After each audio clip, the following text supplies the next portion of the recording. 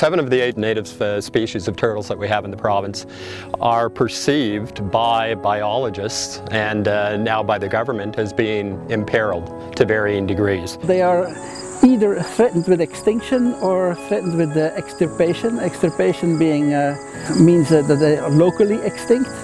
And uh, so it is important to know where they are and how frequently they are seen in order to have an estimate of how many of these animals are still around.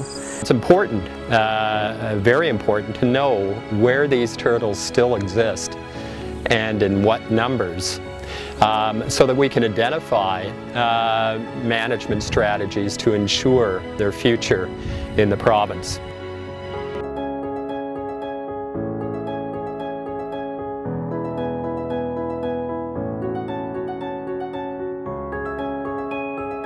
I think most people, by connecting with the Adopt a Pond program, become part of a community, a community of people that care about wildlife, a community of people that care about wetlands.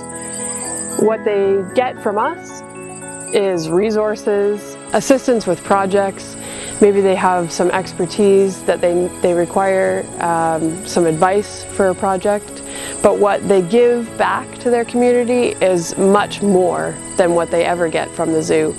They end up establishing projects that proliferate, that grow and expand in their community, and they really help us to get a better understanding of the ecology of turtles across Ontario. None of these people do it because they have been forced to. They do it because they want to, because they like it. Turtles are uh, wonderful creatures to observe and to, to learn about. And uh, Turtle Tally encourages people to get out and engage with the environment. So when, when people go out to tally turtles, they're not only finding and uh, learning about turtles, but they're learning about the greater environment. And uh, that, that, of course, is quite a wonderful thing.